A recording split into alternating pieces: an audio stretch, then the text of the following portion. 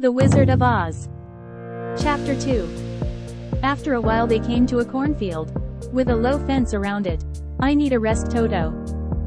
I guess I'll try on these ruby shoes. Wow they fit perfectly. And they're so comfortable. They look very pretty too. Who said that I did? The Scarecrow. I'm sorry if I scared you. You surprised me.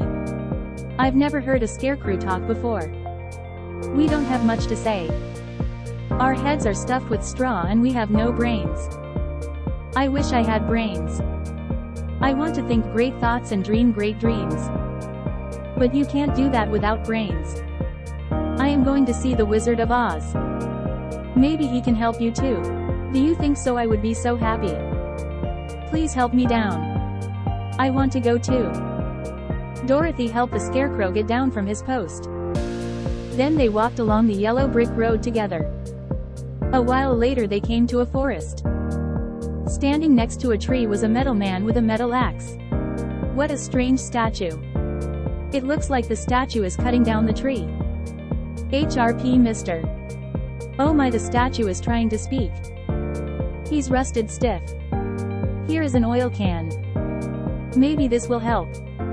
Dorothy and the Scarecrow picked up the oil can and oiled the statue.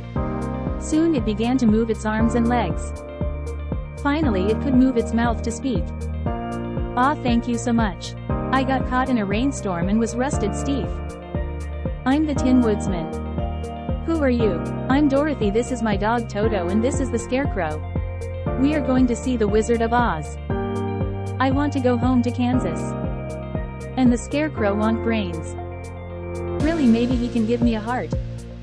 A magician made me help him in the forest. But he forgot to give me a heart. I like people who are kind and generous. But you can't be kind and generous without a heart. If he can help me I'm sure he can help you too. Let's go.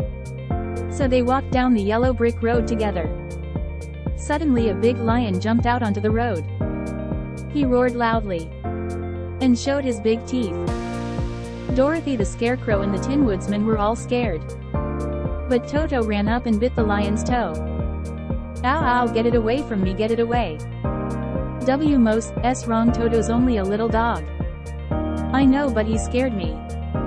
A little dog scared a big lion like you you coward. Yes I am a coward. I wish I were brave. Maybe the Wizard of Oz can help you too. I'm going to ask for a heart. The Scarecrow is going to ask for brains. And Dorothy is going to ask to go home. I'm sure he can give you courage. Please let me come with you. I'm sorry I scared you. Yes you can come with us. But don't roar at us again. Right, no more roaring.